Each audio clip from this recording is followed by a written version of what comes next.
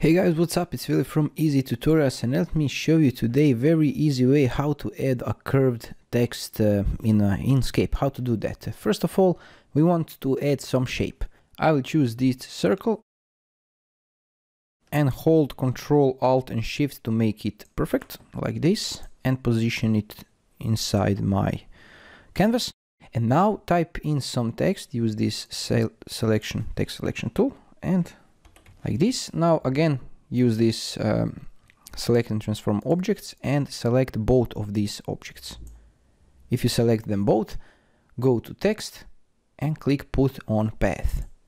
And as you can see, I will zoom it a bit, it will put your text on the path over here. But let's say you want that text to be on the top, not over here. Uh, to do that, just simple select the only the circle uh, select it again to bring out the rotation menu and now rotate as you wish like this. Now if I click again and use this transform tool you can see that you can make different curvature or is that a word? Like this okay? And when you are satisfied for example I want a mild curve like this just click on the text and click path object to path and now we are changed our text to a path.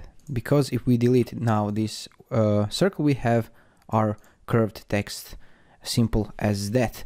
Uh, if, it, if we didn't do that uh, you know we will delete uh, an text and the object. And this is it. If you find this helpful let me know in the comments below. Thanks for watching. Have a nice day. Bye bye